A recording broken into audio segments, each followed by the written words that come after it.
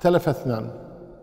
الأول يقول لا يجوز بل محرم صيام شهر الله المحرم بالكامل والدليل عدم فعله صلى الله عليه وسلم وكذلك لعدم الأمر بفعله ويستدل بقوله تعالى اليوم أكملت لكم دينكم.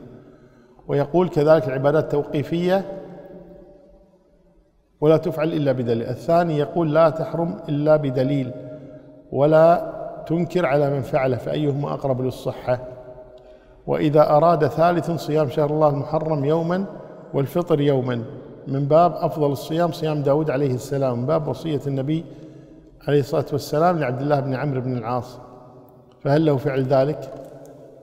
يعني النبي صلى الله عليه وسلم يقول أفضل الصيام بعد صوم رمضان صوم شهر الله المحرم. هذا الشهر شهر المحرم يعني من أفضل الصيام بعد رمضان.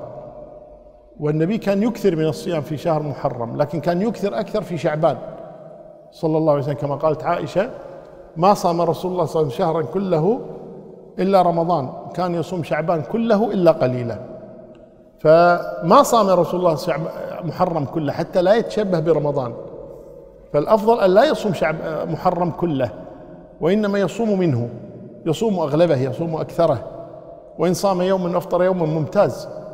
وإن آه، صام نصفه ممتاز وإن صام تاسعاء وعاشوراء ممتاز وإن صام ثلاثة أيام ممتاز وإن صام الاثنين والخميس في محرم ممتاز. المهم أن يكثر من الصيام في محرم والأفضل أن لا يصومه كله.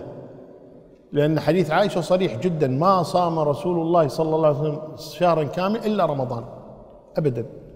فالاكتفاء بسنة النبي صلى الله عليه وسلم في هذا وعدم صيام يعني أكثر من آه، أكثر محرم ولا يصوم محرما كله والله أعلم.